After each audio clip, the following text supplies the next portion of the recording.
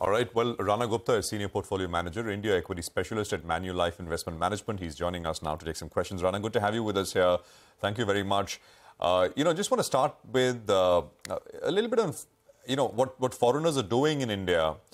Uh, so we had the EPFR, they collect data from across funds, uh, and they've been telling us, uh, you know, till before yesterday, uh, that India dedicated funds have been receiving a lot of money even as global emerging market funds have been tepid. Yesterday, when we spoke with them, they said, well, things have slowed down. Uh, India specific funds still positive, uh, GEM funds now negative. Is uh, you know the tap kind of uh, not turning off, but is it slowing down uh, in terms of flows? Just wanted to understand what the view is. So I think the flow towards emerging markets uh, are on a strong footing. And I think what you rightly pointed out within emerging markets, if we talk about global emerging markets, emerging markets, uh, China is a big portion.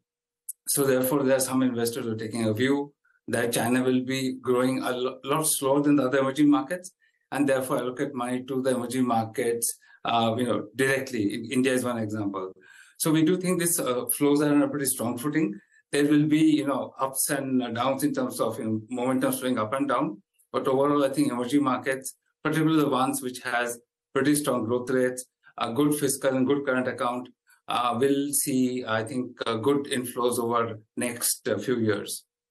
The inflows, Rana, have been pretty strong in the Indian markets up until now. Within the emerging market basket, does India continue to remain your preferred picks, pick, or are you a bit cautious now given the run-up that we've seen? So I think the overall the markets might consolidate between this 18,000, 19,000, 20,000 range or, thereabouts. But I think overall longer term optimism remains. That's point number one. But point number two is that I think beyond the headline Nifty level, which comprises of so many, you know, external and internal sectors, I think the real story is the domestic Indian market. I think if you look at some of the themes that we've been highlighting, whether it's digital, whether it is manufacturing or transition to clean energy, premiumization of consumption, overall deficit reduction, therefore inflows into banks, insurance, real estate. Those themes, I think, will continue to attract quite a bit of attention going forward. Mm. Hi, Rana. Good morning. Uh, what are you expecting from Fed Chair? Uh, you know, he speaks tomorrow. And uh, what are you factoring in in terms of rate hikes? You know, everyone thought we were done with the last rate hike.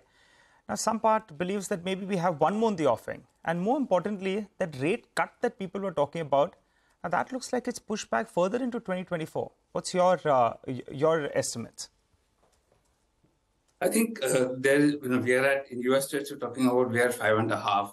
It can go up by 25 basis points, may or may not. We don't. I, I know I'm not even making a comment on that, but I think given the inflation trajectory, it looks unlikely. The base rate will be a base case will be a pause, but we will see about that. Uh, what uh, the Fed is going to say in Jackson Hole, I think, is anyone's anyone's guess. But I guess you know, his commentary has been on the lines of that inflation is perhaps moderating. We have to be cautious, wait and see, not jump the gun. You're right. And we also think that the rate cut is pushed out because uh, of the inflation still remaining higher than the Fed target.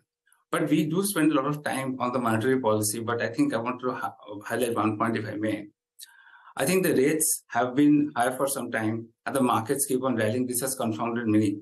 But the point is, the changes that we have seen seen in U.S. fiscal and industrial policy is something I think we should spend some more time about, because the U.S. incentives that is given in whether it's chip manufacturing uh, or electric vehicle manufacturing within the U.S. borders, uh, I think are pretty significant, and that is what keeping the industrial part of the market alive. So, in coming to India, like for example, India also there are PLIs, right?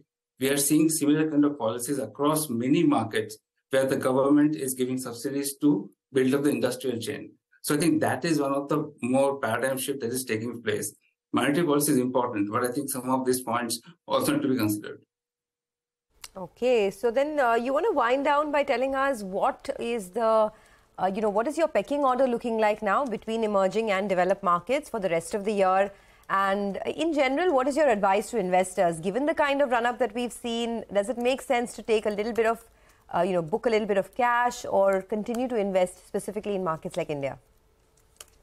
So I won't be able to comment on developed market because that's frankly not my true forte. But what I can share is that, you know, I just mentioned in the answer to the last question that monetary policy is becoming, uh, you know, the rates are becoming higher. So if you're in emerging markets and then your market and in a macro has a lot of external debt in US dollar, or your company has a lot of US dollar debt, then that's something to be concerned about. On the other hand, if your country sector or the or the or the stocks or the companies are linked to the positive coming out of US fiscal policy, for example, the US is to source more, and they will not, uh, they will reduce dependence on China. So where do they go? If your if your if your if your country, the market, or the stocks are exposed to those themes, I think those markets can do very well.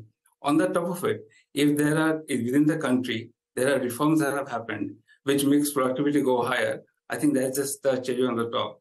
So I think those markets in India fall into the falls in that bracket. I think uh, the longer term outlook remains very bullish. But again, themes one have to select. And like I mentioned, I will reiterate one more time. I think within India, we like digital, we like manufacturing, we like clean tech, we like premiumization of consumption. We also like the deficit reduction theme, which is, you know, so therefore the overall savings increasing in the in the country. No, those are good points, Rana. Uh, absolutely. I mean, actually, we don't talk uh, very much about it. Even stuff stuff like uh, you know, manufacture, make in India, uh, make in India, or electronics manufacturing in India, right? The PLI schemes, etc. We look for stocks which will benefit because of that, but there is an interest rate aspect to it, right? Because the current uh, that electronics, for example, is the second largest import component for India, and if you're able to kind of uh, make a lot of that here, that's a direct impact on current account deficit that has got imp implications for interest rates, lowering interest rates generally over a period of time, and uh, you know that's quite helpful in the environment that you're describing, which is generally high rates in the developed world uh, to be able to compete for flows. Uh, so, uh, yeah, lots to talk about. We'll pick up on uh, some of this, uh, you know, next time we are on. Thanks very much, Rana. Appreciate you joining in here yeah, on CNBC TV 18. Thank you.